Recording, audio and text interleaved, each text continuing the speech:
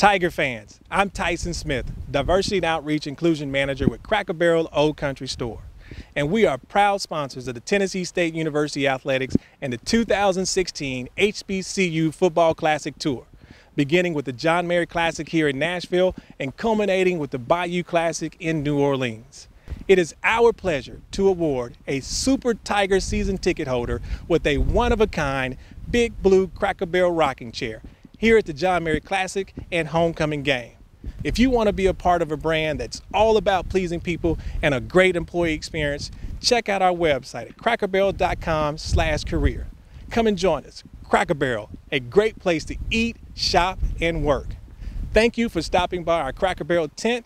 Congratulations to our winner and go Big Blue.